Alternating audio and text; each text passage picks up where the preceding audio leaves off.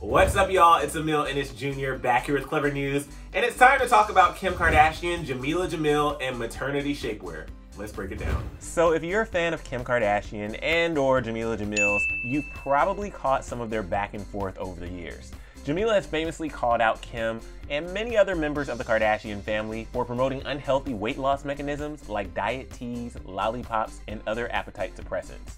Now, Kim defended her endorsements amid Jameela's criticism, and it's just clear that these two have very different views on body positivity. And now Jameela is speaking out again about the dangers of shapewear, coincidentally enough after Kim debuted her Skims maternity line. A couple of days ago, Kim announced that her shapewear line, Skims, was launching maternity solution wear, which according to Kim, quote, offers the best in comfort and support for your changing body during and after pregnancy. So shortly after Kim shared the news about her new product, Jameela chimed in on both Twitter and Instagram writing, it would be so cool if pregnant people could just be allowed to be pregnant and get bigger and not be self-conscious and enjoy the miracle taking place inside their body and not have to worry about feeling embarrassed and shamed that their body is changing for an amazing reason. Now, many believe that this tweet was a direct hit at Kim for revealing her new line, including Kim herself. She took to Twitter to share her side of the story.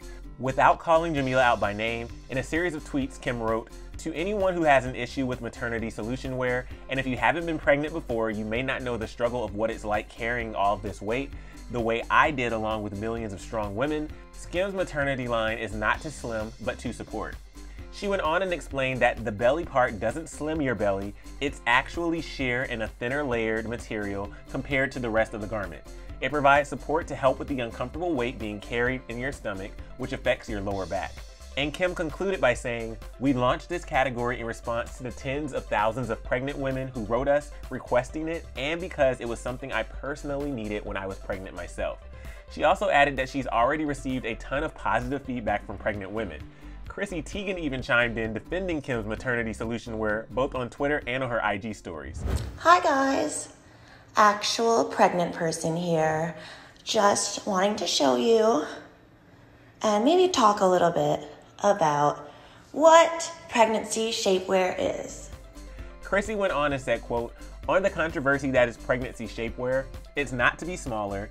These brands aren't pressuring us to be smaller. Thanks for looking out for us, everyone, but we're good.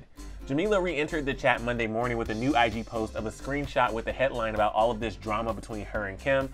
She claims that she actually wasn't calling Kim out, but rather was just talking about pregnancy shapewear in general. Alongside the headline screenshot, in a lengthy post, Jameela wrote, I'd already read Kim's description of the product before I spoke. I was only talking about the discourse online around body shaming during pregnancy and people wearing shapewear specifically to look slimmer rather than for support. She went on to slam the media writing, bored of my name being used to drag me into that I'm not trying to be involved in.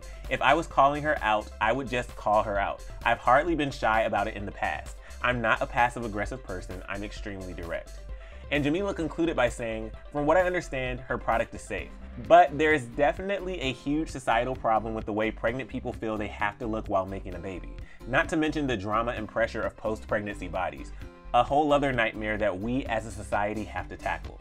And fans have a lot to say about all of this since Kim and Jameela's back and forth. Some people defended Kim's products, writing things like, I will say just wearing things to support the belly really helped my back pain during pregnancy. They make pregnancy bands. And this person who called Jameela out wrote, no, sorry, I agree with you on a lot of things, but as someone who has had two babies, I really wish I would have had this back then for the overall support for my back. Haters gonna hate on Kim all day long. And this man chimed in writing, how about pregnant women wear whatever they feel comfortable in? Shapewear, cool. Sweatpants, cool.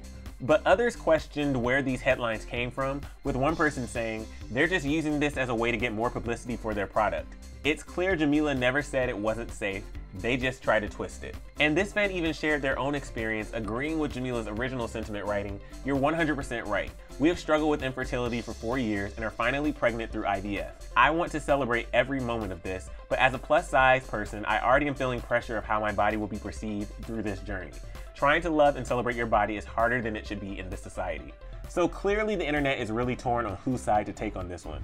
But this isn't the first time that Jameela Jamil has called out the press. Click right over here to see what she had to say about the press calling her and Meghan Markle best friends. And then let us know down in the comment section below what you think about all of this shapewear drama. And of course, I'm a Ennis Jr. and I'll see you soon right back here on Clevver. Bye guys.